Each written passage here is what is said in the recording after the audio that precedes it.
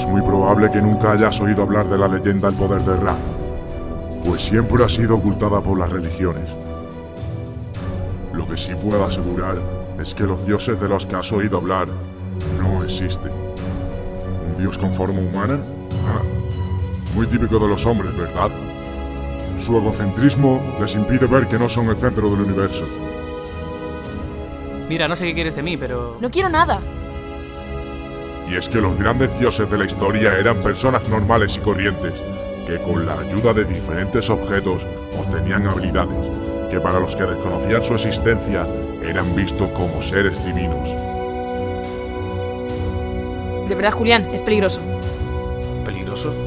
¿Qué quieres decir, Lourdes? Explícate. ¿Y tú no sabes que los buenos siempre ganan? ¿Quién ha dicho que yo sea el malo? Eres tú la que quieres